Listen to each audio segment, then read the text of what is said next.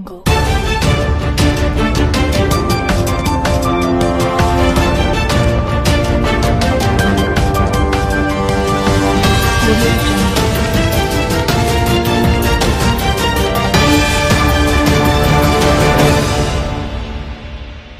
रहीम, अस्सलाम वालेकुम दोस्तों, वेलकम करते हैं आपको अपने यूट्यूब चैनल वर्ल्ड न्यूज़ में। दोस्तों, बहुत ही अहम खबर लेके आए हैं आप लोगों ने थंबनेल में पढ़ा ही होगा वर्क वीज़ा के लिहाज से हम आप बात करने वाले हैं। तो एक अच्छी खबर है, एक बुरी खबर है। तो दोस्तों, वीडियो शुरू करने से पहले हमारी प्यारी सी छोटी सी रिक्वेस्ट है, अगर आप हमारे चैनल पर नए व्यूवर्स हैं, जो हमें देख रहे हैं, जो हमें सुन रहे हैं, हमारा चैनल सब्सक्राइब कर लें लाइक कर लें। लाइक करने से आपकी मोहब्बत का पता चलता है और लाइक करने से कुछ नहीं जाता लाइक कर दिया करें।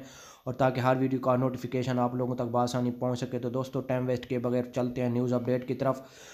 हम पहले बात करने वाले हैं अच्छी खबर। आज की अच्छी खबर ये है कि दुबई ने वर्क वीज़े की अनाउंसमेंट जारी कर दिया है। जैसा कि आपको हमने दो दिन पहले एक वीडियो बनाई थी, उसमें बताया था कि 10 15 दिन के अंदर अंदर खुशखबरी आ जाएगी, लेकिन आज से खुशखबरी शुरू हो चुकी है। शाह महमूद कुरैशी का जो दौरा है, यूएई का था, उन्होंने यूएई के वज़ीर खारजा से मुलाकात की थी तो ये वीज़े के बारे में उन्होंने बताया था। तो अभी आज से वीज़ों की शुरुआत शुरू हो चुकी है। इन वर्क वीज़े लगना शुरू हो गए हैं। आप भी अप्लाई करें और वर्क वीज़ा हासिल करें। ये बहुत बड़ी खबर आ चुकी है। आप लोगों के लिए ख़ास तौर पे पाकिस्तानियों के लिए जिनके वर्क वीज़े बंद थे। अभी आज से शुरुआत शुरू हो हो, हो चुकी है वर्क वीज़े की। तो दोस्तों दूसरी खबर ये है बुरी खबर यह है कि दुबई में कोरोना के केसेस ज़्यादा बढ़ते जा रहे हैं डेली बेस पे। पहले तो दो दिन पहले जो आ रही थी खबर उसमें 500 600 केसेस थे। लेकिन आज की जो आज की डेली न्यूज़ अपडेट है उसमें जो हम आपको बता रहे हैं तीन हज़ार से चार हज़ार केसेस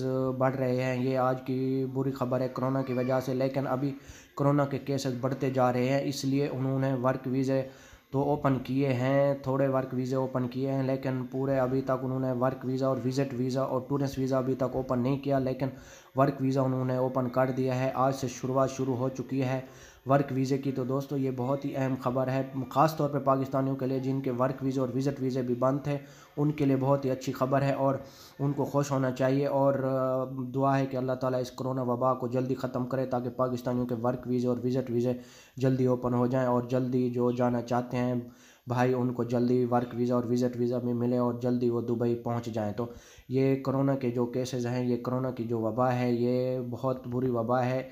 इसकी वजह से तो पाकिस्तानियों के और बल्कि पूरी दुनिया के उन्होंने चौदह मुल्कों के वीज़े बंद किए हुए थे।